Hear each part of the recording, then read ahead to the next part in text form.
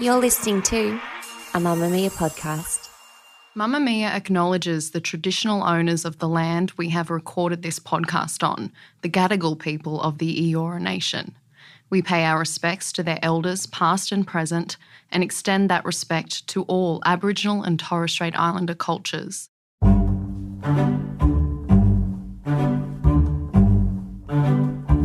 Welcome to No Filter.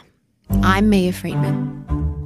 I've had a lot of mm. arguments with a lot of people about feminism over the years, and many of them have been with other feminists. This isn't surprising, and it's not even bad. A huge social movement that affects half of the world's population is going to be a pretty broad church with a lot of different viewpoints inside it. And even if you don't think you're part of that movement, even if you don't identify as a feminist, I assume you would agree with the basic idea of feminism, which is that women and men should have the same rights. Like the right to vote, the right to wear jeans, the right to decide who you marry and if you marry, the right to be paid the same amount of money for doing the same job as someone else, the right to decide if you want to have kids and if so, when, with who, and how many. You know, all the things that men have.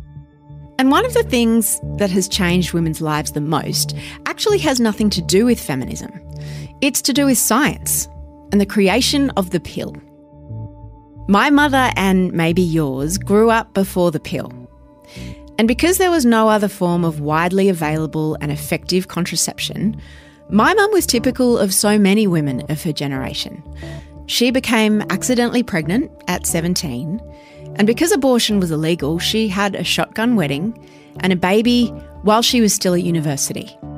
That's the way it was for women before the pill, because it's impossible to have equality with men when you're the one whose body can be hijacked by an unexpected pregnancy and your life totally, totally derailed by having to raise that child. It's pretty basic logic. You can't be in control of your life if you're not in control of when, if, and how many kids you have. So the pill was a great thing. I think we can all agree. It freed women much more than any other thing, more than any kind of legislation. It meant that for the first time in human history, sex was decoupled from pregnancy and child rearing. And this was epic. And it was truly liberating in a way that's hard to get your head around in 2022 when we just take it for granted that sex doesn't have to mean babies. And it meant that women could delay having kids for a period of time or even forever. And it meant that men and women were truly equal in the way that they could have sex without consequence. This was called the sexual revolution, and it was a glorious time, apparently. Happy days because women should be able to have sex with whomever they want, for whatever reason they want, without fear or moral judgment or unwanted pregnancy. I believe that totally and completely, and so does every woman I know, and most of the men. But what happens when what you believe in your head to be true doesn't match with your feelings? What if there have been negative consequences to all of this sexual freedom that a lot of women experience but don't feel like they can admit to. This episode of No Filter is going to push some buttons. It's going to challenge you. Certainly challenge me. Even the name of this episode is confronting how the sexual revolution failed women. The result of the sexual revolution, both in the material and the ideological components of it, is that women have been encouraged to imitate the high sociosexuality male model right? That that's considered now to actually be aspirational. It used to be the opposite, right? It used to be that women had to kind of suppress any desires that they had to have casual sex or to be sexually adventurous or whatever. Whereas now I think the pressure is in the other direction. Louise Perry has written a book about this, and it's currently igniting a viral conversation about how sexual freedom can have a downside for women. Not all women, but some women, and also some men. We're going to talk about porn. We're going to talk about hookup culture, about the toxic phrase catching feelings, about the pressure to have sex like a guy, about prudes versus sluts. about why a lot of women are having sex that they don't enjoy. Strap in, it is a cracker of a conversation. So, you know, we'll have people listening to this who are all different ages. And I would love you to start by explaining what the sexual revolution was.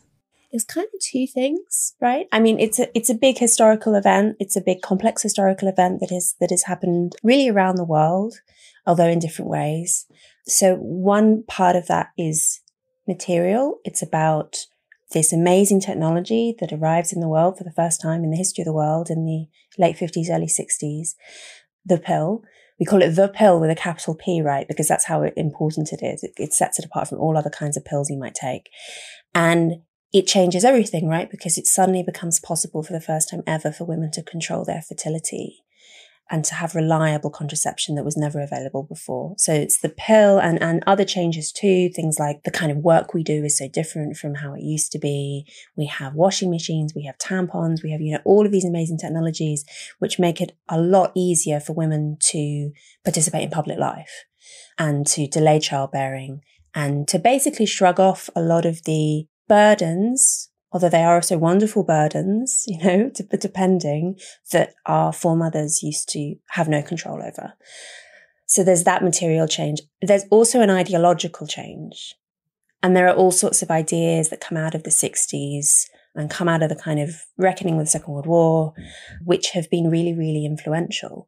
Like one of the ideas, for instance, that comes out of the sexual revolution, which is, I think, a harmful idea, is the idea that sex doesn't necessarily mean anything.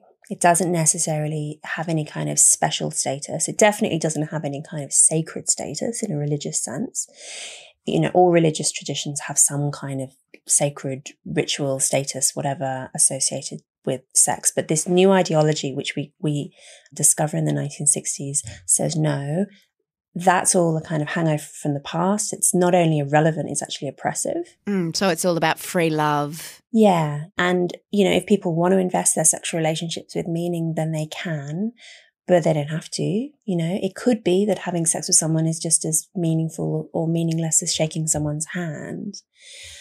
And I think honestly, no one really believes it. Mm. I think it's a sort of idea that people will talk about that has a lot of rhetorical power among some progressives. I don't think, though, that anyone actually lives as if that was true.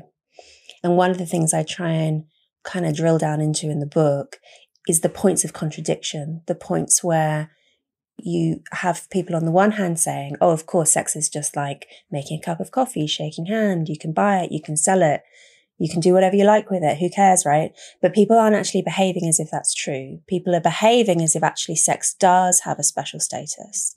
And it might not be one that's very easy to describe. It might not be easy to rationalize, but we really, really feel it.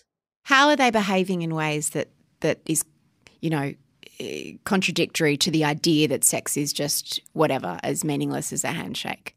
So, one example, for instance, is that even in polyamorous communities where people will try really hard to practice so called ethical non monogamy and will invite their partners to have sexual relationships with other people and they have sexual relationships with other people in their turn, people find jealousy really, really difficult. You know, you go on any sort of online platform or talk to anyone involved in polyamory and they'll tell you that this is one of the things that people are always struggling with and often in a very kind of visceral sense, right? Like, my head is telling me one thing. My head is telling me that this is fine, that we're all consenting to this, that what this is just a kind of a way of throwing off the shackles of monogamy, which were oppressing us, etc.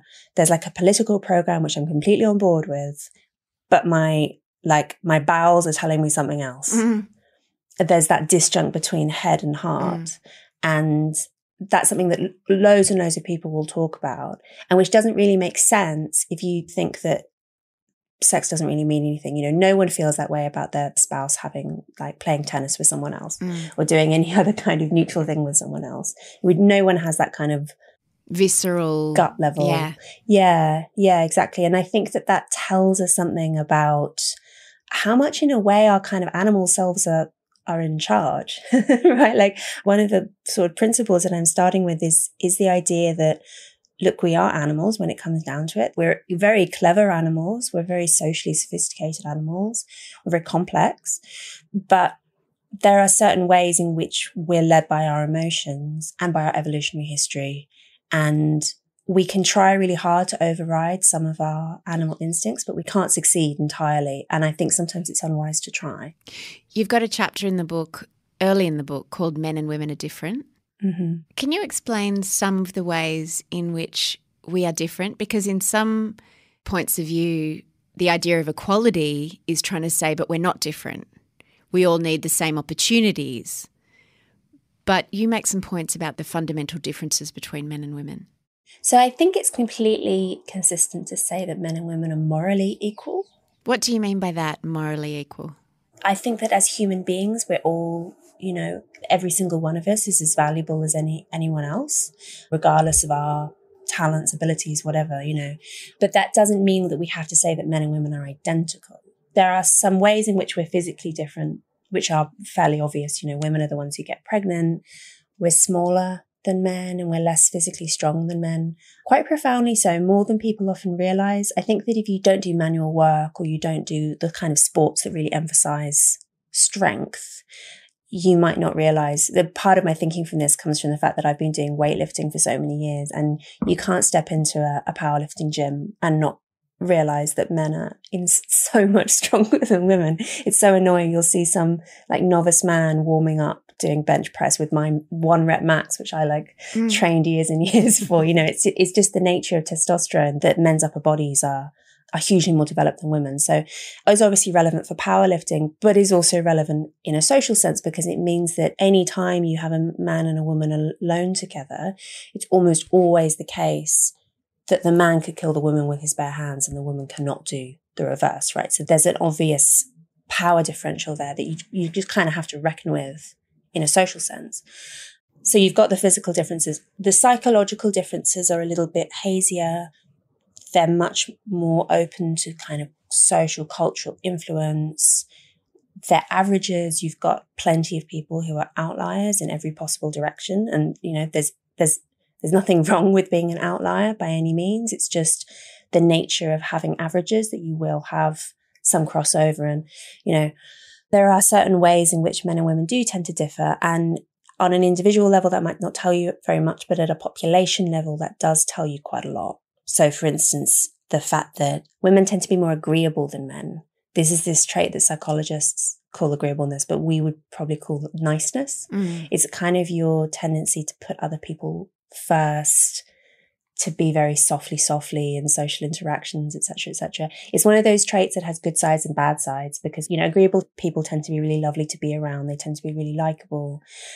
It's also bad sometimes to be agreeable because you have a tendency to sublimate your own desires. Just think how agreeable you have to be as a mother in relation to your children, right? You're constantly, constantly putting yourself second. So it's a good trait. It's also sometimes a painful trait. You're saying some of those are like developed through evolution to ensure the survival of our species. Because if yeah. you had women who didn't put other people first, then children wouldn't go so well. Yeah, there are various theories about why the agreeableness gap is there. One of them is to do with the fact that you just have to be so super agreeable towards your children. I mean, and a really interesting insight in this regard is that you don't see a gap until puberty. So boys and girls, even, you know, aged eight, nine, 10, like quite old children, there's no gap in this trait. And then in puberty, it suddenly hits in, which does suggest that there's something to do with with childbearing. I mean, so one theory is it's to do with the fact that you just have to be so self-sacrificing towards your own children. Another theory is that it's a way of, you know, if you're a mum with little kids, you really don't want to have any kind of aggro going on around you. And if you're really agreeable, you're probably better at diffusing that and like creating a safe environment for your children. Uh, there are various like theories as to why this might have arisen, but it's quite a big gap. It's not a, eh, there are plenty of disagreeable women and there are plenty of agreeable men, but like you see it in the data and there is a stereotype there, which is rooted partly in truth of women in general being a lot kind of softer and nicer in social interactions than men, which does seem to be kind of representing that data. Another difference, which is even more profound difference, and the one that is most relevant to my book, is in a trait called sociosexuality, which is not quite the same thing as sex drive. in that you can be high in one and low in the other. Sociosexuality basically describes how interested you are in sexual variety, how mm-hmm. many different partners you want to have, how quickly what you want to jump into bed with someone, how sexually adventurous you are in general. And so, men have a higher, is it called a higher rate of sociosexuality or a different type because they're meant to perpetuate the species, impregnate as many different women as possible, like Nick Cannon, who used to be married to Mariah Carey and has got like 10 children with all these different women. is that what sociosexuality is? Yeah, it is basically your desire to sow your wild oats. Yes. As my grandmother would say. I mean, it's worth bearing in mind that something that's really interesting about one of the ways that male sexuality differs from female sexuality is men have a wider range of behaviors and men are more flexible actually than women are in a lot of ways. So typical female sexuality with outliers, obviously, is generally much more geared towards monogamy and knowing someone pretty well before you want to start a sexual relationship with them and so on. With men, some men, that's absolutely what they're interested in. You know, some men are just as monogamous as the most monogamous woman. Some men are really quite low in sociosexuality. Some men are extraordinarily high in it. And it's something that changes across your lifetime. And it's something that changes also according to context quite a mm. lot. So, you know, men who, who might be perfectly happy living a, a pretty like steady Eddie lifestyle, but in another context would be super promiscuous if they had the opportunity. And is that where porn can come into it? That they seek that variety through porn? Potentially, yeah like on the nature nurture question, I think the answer is very obviously that it's both. It's nature and it's nurture and they work together. I think that seeing it as either one or the other is is kind of like a crazy dogmatic position. Mm. It's clearly both together, which is the whole point I'm making in the book, right? Like I'm taking this evidence from the nature point of view but also there wouldn't be any point me writing this book or campaigning on all the issues I campaign on if I didn't think that there was scope for change. So like it's not a bad news story, but it is like working with what we've got basically. And the fact is that we do have this difference in sociosexuality between men and women and you see it across cultures all sorts of really different cultures, you still see this exact same pattern. And the explanation that's been used for this sometimes by people who are more towards the nurture side of the equation is to say, well, this is to do with women being slut shamed, women's sexuality being suppressed. And, you know, women would be higher in sociosexuality if they had the opportunity. And it's possible that sometimes that's true. I'm sure that there are individual cases when that's true. The thing that makes me skeptical about that being the explanation for the gap that we see everywhere is it's kind of like flipping a coin hundreds of times and every time it comes up heads. You know, I, I feel like there reaches a point where if you've got so many diverse cultures that are all producing this gap, that probably suggests that there's something biological going on. This isn't just to do with kind of the luck of how a culture decides to regard human sexuality. The argument that I make in the book is that I think that the result of the sexual revolution, both in a, the material and the ideological components of it, is that women have been encouraged to imitate the high sociosexuality male model right? That that's considered now to actually be aspirational. It used to be the opposite, right? It used to be that women had to kind of suppress any desires that they had to have casual sex or to be sexually adventurous or whatever. Whereas now I think the pressure is in the other direction and mm. it's all about kind of sex positivity. Yeah. And it's persuading women. I mean, that persuasion process is sometimes pretty direct, you know, like I've read accounts from women, I've spoken to women who will talk about boyfriends or hookups you know, being pretty explicit in, in, in their desires for, for women to be more adventurous, to jump into bed more quickly than they want to, all that kind of stuff. So sometimes it's actually quite coercive in a direct way. But I think often it's actually more subtle than that. It's more sort of in the cultural waters, mm. this feeling that actually being really up for it is now high status. And what a lot of young women say they're now scared of is being a prude or being frigid or getting laughed at because they're a virgin, which is historically really, really weird, right? Because up until the pill arrived, really, of course, teenage girls were expected to be virgins. Mm. That was just the accepted thing because there's just necessity, really, mm. that, that you would, you were expected to wait to have sex until you were in a relationship that could like cope with having children. But if you take the pregnancy factor out, I mean, you can never take it completely out. I think this is this is a thing about the pill that is kind of a double edged sword for women in some ways, that it, it is very effective. And the new methods are even more effective, things like the Mirena coil and stuff like that. They're really effective. But the pill that arrived in the 60s was not that effective. It was like, I think with perfect use, it's 97% effective or something like that. But with typical use, it's more like 91% effective, which actually means that in a year, if 100 women are, are taking it in a year, nine of them will expect to get pregnant. After the break, Louise is going to unpack the problems with hookup culture and not catching feelings during sex. Generally, the pill and the sexual revolution decoupled pregnancy and morality from sex. And you start your book by talking about Hugh Hefner and Marilyn Monroe, who were born a day apart, and how the sexual revolution had very different impacts on their life. Can you talk a little bit about that?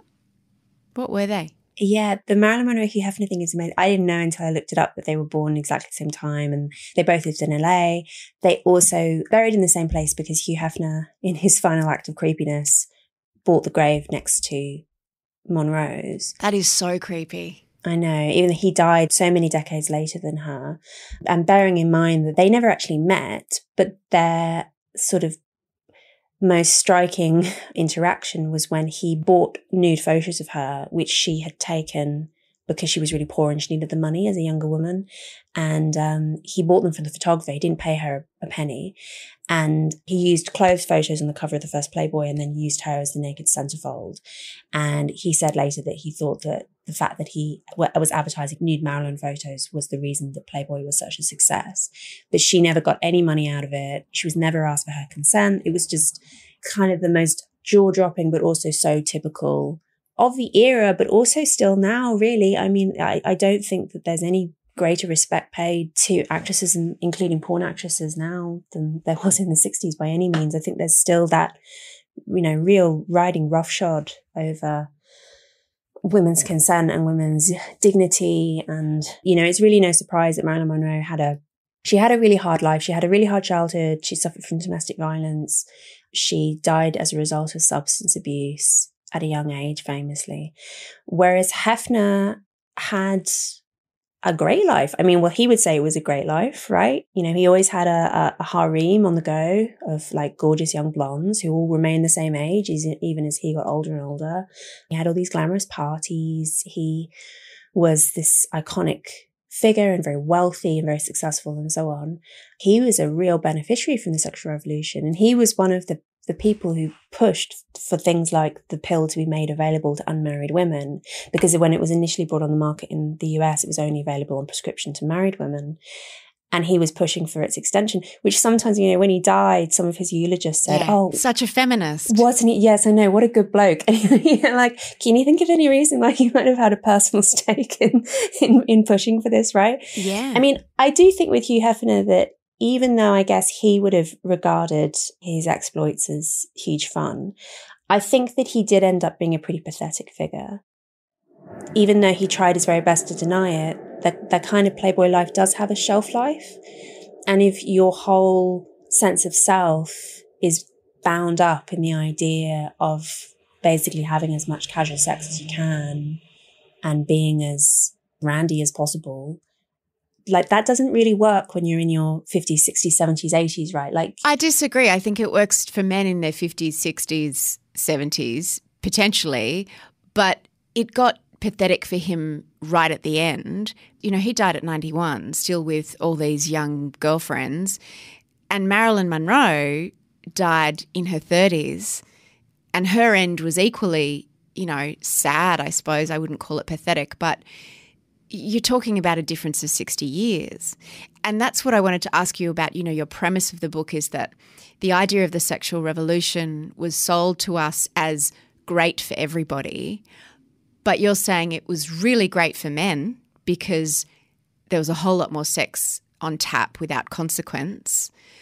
But for women, are you sort of saying that we've been gaslit into believing complete sexual freedom is a good thing, but ultimately, has it benefited women? And of course, we're generalizing. We're not talking about outliers, as you say. Maybe gaslit is too strong. Although, actually, the phrase that my grandmother used, my Australian grandmother, so I'm going to get her to listen to this, is that women have been conned. That was Yeah, the phrase that she conned. used when I when I explained it to her. And it, Maybe that's a better word. We've been conned into believing that sex positivity and the idea of lots of casual sex and ha- being able to have sex like a man is a good thing. Why has that been a con? I don't think it's a con in the sense that I don't think it's a conspiracy. I don't think that anyone has kind of sat down and set out to make it like this.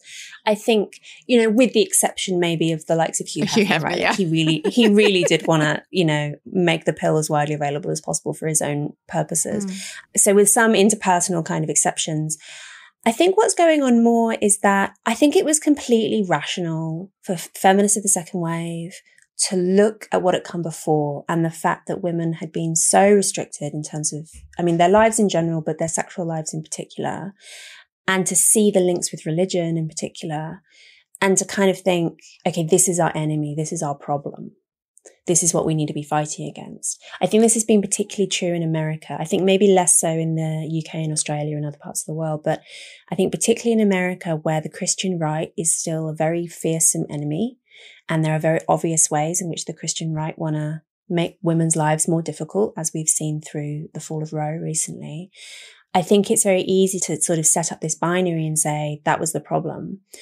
I think the problem with doing that though is it, it presents a really simplistic view of history and a really simplistic view of how complex social norms work, right? Because what we've done basically as part of the sexual revolution is we've said, okay, all of these sexual norms of the past, they gotta go. You know, chivalry, it's out, right? Like the idea of chastity has got to go for men and for women. And all we end up left with, you know, even the idea that sex shouldn't mean anything, that it's basically, you know, it's got no state, special status whatsoever. What you will end up with is the consent framework, which says that as long as you're capable of consenting and as long as everyone does, then it's fine. The problem with that is that actually there are so, so many examples where actually the consent is there, but actually it's not fine. And it's very obvious that there are either downstream consequences that are really bad or actually that people, you know, their well-being is not being protected. I try and use this word well-being. Like, what are the examples of that? So, for instance, I think that it is so common now for young women who've grown up in this culture where this is completely normal to feel under intense pressure to participate in hookup culture. How do you define hookup culture? I mean, you might also call it a culture of casual sex. So the idea that it is not only permissible, but actually good and aspirational to have sex with someone uh, very early on if you don't know them and potentially to have sex with someone just the once. This is now completely normative on university campuses, increasingly also in schools. I mean, we've had this really grim scandal in the UK recently it was called Everyone's Invited. So a schoolgirl set up a website called Everyone's Invited, where she she basically invited girls at schools in London, and then it spread to give examples of basically Me Too incidents that they'd experienced, either in school or more often actually at parties and stuff with other boys. And it was basically exactly the same kind of stories as you've been hearing from university campuses for ages stuff that I, I mean, I'm 30, so this, and you know, my school was on there. So I was, I was mm. reading these accounts from girls who've come after me. And it was stuff that actually was pretty, like, wa- wasn't going on even 10 years ago or 15 years ago. But, like, what kind of stuff? Things like so much revenge porn being spread around schools, so much pressure on girls to take nudes of themselves, which then end up getting spread, to do things sexually with boys that they don't really want to do. But then that's that, oh, I'll tell everyone at school you're frigid kind of threat. Sometimes not as explicit. I mean, this is the whole problem with the consent framework is there's a lot of space between jumping the legal consent bar and actually behaving well, right? There's this massive gray area and the consent framework can't really deal with that gray area because there are loads of reasons why someone might consent to something, even if it's not actually in their best interest and even if it doesn't actually make them happy. So they might do it to prove that they're not a prude because they feel it's expected.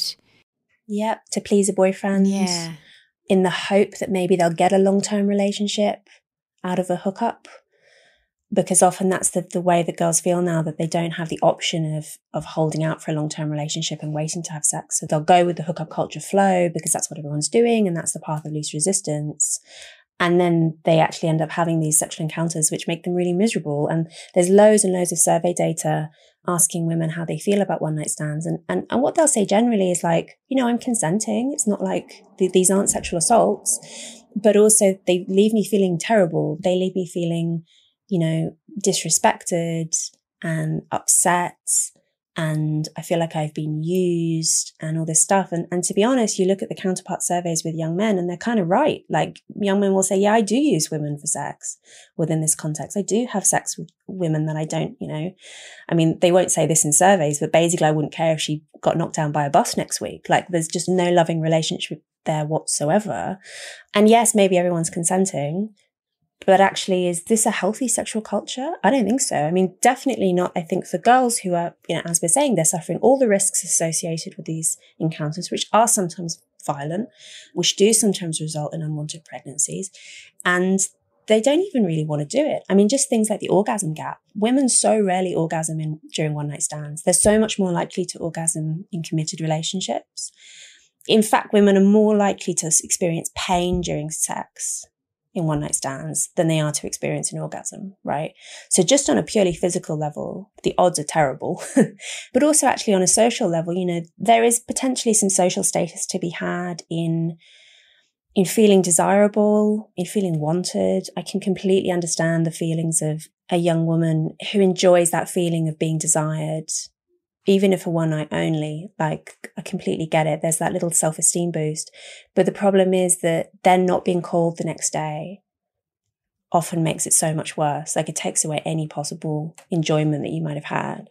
And the reason I think that it's not quite a con, except in a few exceptions, is that I think it's a narrative we've all kind of collectively knit together in a way. And I think part of the reason that we've done that is it really sucks to view yourself as being used, right? It really doesn't feel nice to think that all these guys I've had sexual relationships with, they actually don't care about me at all. You know, they were just using me for sex.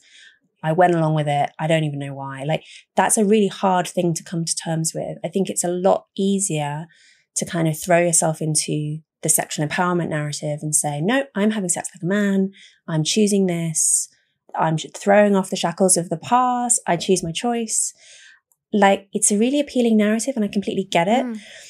I think what I've often observed though is it only really goes in one direction, right? Like it's often the sort of narrative that you'll kind of cling on to when you're right in the thick of it, because hookup culture is really a young person's game, right? Mm. You'll cling on to it when you're in the thick of it. And then it's only later on that you think, hang on, like was that really good for me? I don't think it was. I know so many women who've traveled that emotional journey, and I don't know anyone who's done it in the opposite direction. Tell me about not catching feelings, this cultural idea that's sold to young people about not catching feelings. What does it mean? It's such a horrible phrase. it treats feelings like catching the flu or something, like some so horrible. Or an STD yeah, some horrible disease that you have to avoid. Not catching feelings is the phrase used to describe when you have sex with someone, but you don't want to actually fall in love with them or even feel like affectionate towards them. And it's the sort of phrase that is kind of presented as being gender neutral. And there clearly will sometimes be cases where it's men who are the ones who are struggling not to catch feelings when they're having a casual sexual relationship. But most of the time, what's going on is it's the other way around. It's mostly to do with women saying they're working really hard to not fall in love with the men that they're having sex with. And sometimes using quite like, I, I really dug into um, women's magazines for the book. And you come across these really quite dystopian guides sometimes, you know, how to hook up like a feminist, how to enjoy sexual empowerment, etc., etc., which will include tips on how not to catch feelings. And some of the tips are things like don't make eye contact with your sexual partner because making eye contact with them can actually, you know, induce oxytocin, etc., which will make you bond. Take drugs like cocaine because that will like dull your hormonal responses to sex, things like that. And you think, why are women thinking that this is something they have to do? That trying to sort of deaden their instinctive loving responses. You know, falling in love with someone is a good thing, right? Like, why are we going around pretending like that's something that actually has to be resisted? Well, I guess it's like back to what you said about trying to reclaim a situation as being about your choice. The fact that it's just casual sex and it goes no further, trying to say, well, it was my decision not to catch feelings and I'm not going to catch feelings. But what you're saying is that we're denying our basic human female biology in many cases, to generalize, which is to find a mm. partner. And also the fact that the nature of sexual asymmetry is that women can have a child like max once a year. Really much less frequent than that in reality, but you know, max once a year because of all of the pain and difficulty of and danger of pregnancy and childbirth, and then also infant care mm. for so many, many years afterwards, right? Whereas in theory, men can reproduce every time they orgasm, which is an inherently massive asymmetry, right? And it does mean that women in general have evolved to be a lot pickier about who they have sex with. This is something you see in other species as well that have a similar kind of asymmetry. We're much more sort of wary about who we have sex with in general, because obviously for us, and, and bearing in mind that, you know, we don't have reliable contraception until five minutes ago in terms of our evolutionary mm. history. You know, we've got mm. 200,000 years of human history and, and, and we've had 60 years of the pill, which isn't even completely reliable as we've discussed. So like your monkey brain is not operating on the assumption that you're on the pill. It's operating on the assumption that sex potentially leads to pregnancy. And there are all sorts of clever experiments about this, you know, where you, you go on a university campus and attractive strangers walk up to male and female students and proposition them. And most of the men say yes. And the ones who don't say yes, it's normally because they've got a girlfriend or some other reason like that. Not a single woman says yes. No woman is going home with some random guy who's just come up and propositioned her on the streets. Like this, this is, you know, completely unheard of. You can also see it in things like women have a lower sexual disgust threshold than men. Tell me about that. So that's something you can measure with quite objectively because you can measure it with things like sweat and heart rate and blood vessel dilation and stuff. So you can hook people up to monitors and then expose them to different sort of disgusting things like maggots or you know whatever. It's much easier to kind of turn women off sexually than men. So for instance, women are really reluctant to have sex with someone who they think looks sick or you know in any way looks like they they might be carrying a disease. And and that's probably partly to do with the fact that women are more vulnerable to getting STDs just the nature of penetrative sex means that women are more vulnerable. It's also probably to do with the fact that women have to not only protect their own health but they're also thinking about not passing diseases on to their children through pregnancy and through breastfeeding. It's also i think to do with the fact that women are just it's really not in our interests to get knocked up by some bozo right? Like being very, very selective about who you're willing to potentially have a child with is completely in our interest. I think that's what's going on with, I don't know if you've heard the phrase the ick. Yeah, of course. I think that that's what the ick is describing, right? That you're kind of into a guy and then you, something triggers your sexual disgust response, like whatever it is, his behavior, something physical, whatever. And you're like, oh no. And suddenly your whole body is telling you absolutely not to this. And it's interesting that the ick is clearly something that women are talking about and what men aren't talking about. I imagine there are probably examples of men getting the ick as well, but the way that you read about it and, and everyone talks about it, it seems like it's a female phenomenon. And I think that's probably what it's describing. It's the lower sexual disgust threshold, just expressed more pithily. You know, to finish, Louise, I wanted to ask you about the idea of empowerment and sexuality for women and how we have somehow been sold this idea that objectifying ourselves in the way that men used to objectify us, because it used to be Hugh Hefner who published nude, sexually, you know, graphic photos of women. Now you open Instagram or you go on OnlyFans and women are doing that themselves and it's called empowering, whether they're doing it for money or not, because they're in control of it. And I do understand that argument. So the idea that anything sexual that a woman does is empowering because she does it without kind of any recognition that we're in this culture that's very much playing still to what a man considers sexually desirable. And, you know, whether it's a woman who's 50 posing with no clothes on because she looks young or someone having sex and not catching feelings, that's empowering. Having sex like a man is empowering. I mean, I guess for some women it is. But are we kind of kidding ourselves? Like you, you have a chapter saying loveless sex is not empowering. I mean, I guess maybe it's empowering in the sense that it's a vicarious sort of power, because what's really being described there is is the power that comes through men finding you attractive, which is the genuine source of power, you know, as any kind of consort to the king will tell you, right? Like sometimes women can access power through having sexual relationships with powerful men. It's a very fragile kind of power that's completely dependent on his whim. And it's a power that potentially comes with a lot of costs and a lot of vulnerabilities. It's not at all the same thing as being the king yourself, right?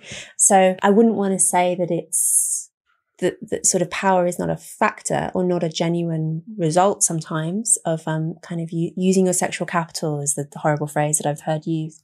I think it has been a mistake though for us to think that if only we can behave like men, if only we can kind of have access to the sort of sexuality that men have historically had access to. I think it's all to do with this this reaction against the Christian conservatism of the past and the 1950s, right? That's always the phrase, the 1950s. We mustn't go back to it. It was not a good time for women then. It really wasn't. No. The problem is just flipping it on its head and saying, okay, well, if we do the exact opposite, then everything's going to be right. The problem is that history is really complicated. Like social relationships mm. are really, really mm. complicated. And it's very, very rare that you can just kind of take one negative social phenomena and just do the exact opposite and, and it's all gonna, it's all gonna work out. I mean, we've kind of had a grand experiment in what happens if you give that a go. And I think one of the reasons why I mentioned earlier that Gen Z seem to be turning against porn. I mean, there's quite a lot of evidence that Gen Z are in general turning against a lot of the sexual revolution's ideas. It's a bit of a complicated picture because there are some members of Gen Z who are really, really into sex positive stuff. But there's also the opposite. And you're increasingly seeing women not only reacting against this online, but actually organizing around it online and speaking to each other and being much more assertive in a way that I really, really welcome and being much more kind of they've really wised up to, to some of what's going on. I think that my generation of millennials are probably going to have been the high watermark for sex positive feminism. I think it is now waning. And I think partly the really positive reception to my book is an expression of that. And I've had a lot of communications from young women saying that it really, it really spoke to them, which is so nice. I love getting those emails. They're the best thing ever. I think that it was a kind of an experiment. I think that we're now like the results are coming in. We're starting to see the flaws in the idea. And I'm hoping that what we're going to see now is a, as you say, neither a slut nor a prude, but something kind of healthily in the middle. It ought to be possible, right? To have some kind of moderate position somewhere in between. And I'm hoping that we are going to find that in the coming decades and that hopefully, you know, Gen Z are going to be a little bit wiser than my generation were. If you want to hear more of my conversation with Louise, I hope that made you think I wonder if you were shouting in your head back at her or maybe even at me. Follow the link in the show notes because in the subscriber episode, we talk about the impact of porn and sex positivity culture and what the downside of that can be for women. People are starting to believe that women do love to be strangled and that this is a normal thing to do and that it's okay to just suddenly. And what's so distressing about it is that I'll hear from women or read women on, on, on social media or whatever saying, I went home with a guy, he started strangling me and I didn't really like it. But, you know, is, does that make me a prude? Is there something wrong with me? And I mean, I think it partly comes back to this agreeableness thing that, that women are so really agreeable women do have a tendency to sort of put their partners first. But also is that this whole culture of being up for it and being adventurous. If you're a Mamamia subscriber, you can hear all of that right now. And you can find Louise's book, The Case Against the Sexual Revolution, online now. The executive producer of No Filter is Elissa Ratliff, and I'm Mia Freedman. Thanks for having me in your ears.